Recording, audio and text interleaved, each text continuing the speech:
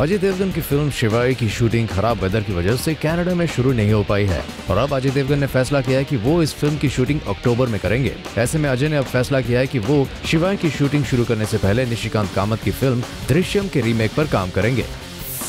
आदित्य पंचोली और कंगना रनौत के कंट्रोवर्शियल रिश्ते से हर कोई वाकिफ है। और अब अपने इस रिश्ते के ऊपर बेस्ड आदित्य एक बुक लिखने जा रहे हैं, जिसमें वो अपनी लाइफ के उन इंसिडेंट्स का ज़िक्र करेंगे, जिसके बारे में कोई नहीं जानता। सलमान खान के रियलिटी शो को होस्ट करने के बाद अब फराह खान एक कुकरी शो को होस्ट करने की प्लानिंग कर रही हैं।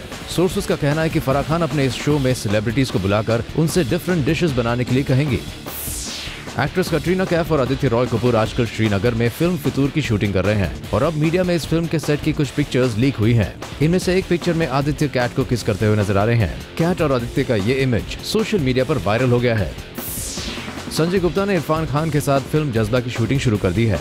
और कल यानी ट्यूसडे से ऐश्वर्या राय बच्चन भी इस फ़िल्म की शूटिंग शुरू करेंगी। ऐश्वर्या लगभग पाँच सालों बाद कैमरे को फेस करेंगी। इससे पहले ऐश ऋतिक रोशन स्टार फ़िल्म गुजारिश में नज़र आई थी। सोर्सेज की माने तो बिग बी वर्ल्ड कप के दौरान इंडिया पाकिस्तान मैच की कमेंट्री करते हुए नज़र आएँगे। जी हाँ शमिताब के मेकर्स ने वर्ल्ड कप के ब्रॉडकास्टर्स के साथ एक स्पेशल डील साइन की है, जिसके तहत Big B India Pakistan match की कमेंट्री करते हुए नज़र आएँगे।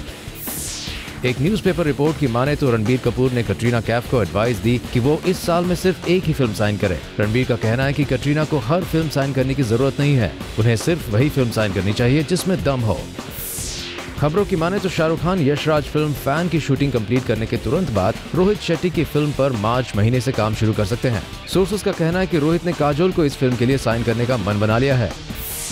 सोर्सेज की माने तो सलमान खान स्टारर फ़िल्म शुद्धि में संजय दत्त विलन के रोल में नज़र आ सकते हैं। कहा जा रहा है कि संजय दत्त की अन अवेलेबिलिटी की वजह से इस फ़िल्म की शूटिंग को इस साल के एंड तक के लिए पुश किया गया है।